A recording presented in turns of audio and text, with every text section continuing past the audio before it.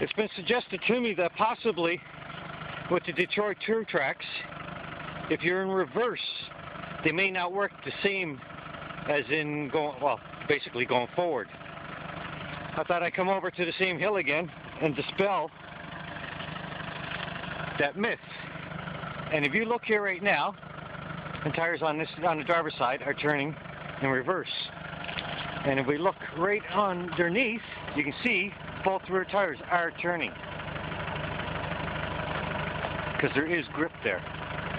But, if we come around to the front though, you will see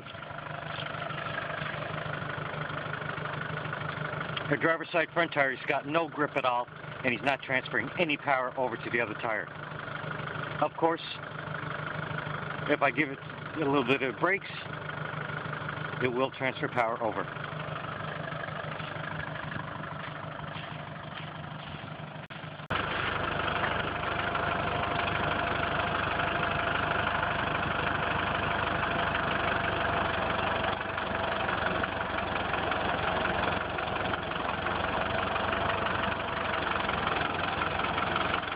There we go. A little bit of brake pressure.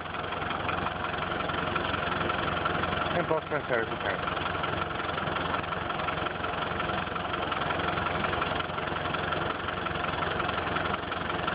And we look all the way down to the back. Turning.